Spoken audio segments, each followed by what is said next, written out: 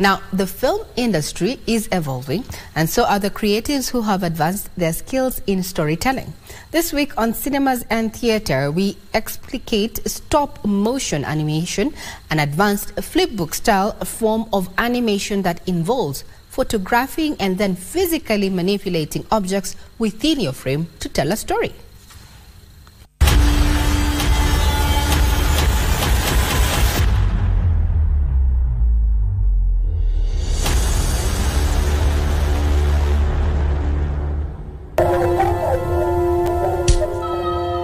Olive Branch, a stop-motion animation film produced by Maureen Mureithi, is a story about a couple's fight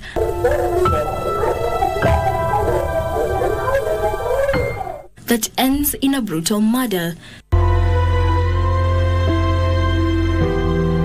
The woman dies, the man gets life imprisonment.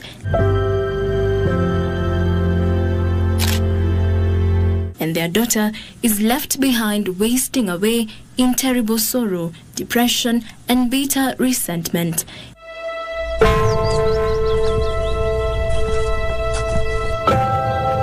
In the end, she chooses forgiveness, in part to free herself from the shackles of bitterness and to make peace with her father. Olive Branch. It won um, the jury award in My Kenya My Story 2023. Theme in the competition was about peace, tolerance, and conflict resolution. But what is stop motion and how did she begin? Stop motion is like basically manipulating an object, and every time you're doing that, you take a picture. So when you play those pictures in a sequence, it will seem as if that object is moving. My first uh, work was actually a and. Mm, it was a claymation, so you use uh, modeling clay, the one for kids. I made a three minutes uh, film based on the story Tope, the one we read in, high, in, in school. Maureen notes for the craft and art, she just uses simple available material and edits using her mobile phone. I'm very good at sculpting with my hands. I first designed a puppet. I'll first of all want to see it like complete, you know, anime structure, the whole body, the clothes. So once I have a puppet ready, that's when I come up with the stories. Once I have all that ready, I'll design the sets. If maybe I need like a house or I need a chair, I have to go back again and find materials, then hand make that chair or just the, basically the set that the character will be in.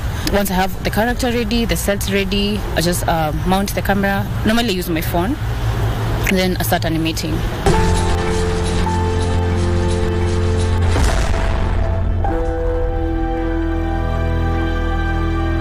It's really it's really promising in terms of filmmaking and even the stories you can tell like they are limitless when we use stop motion. Jacqueline Macharia for cinemas and theatre.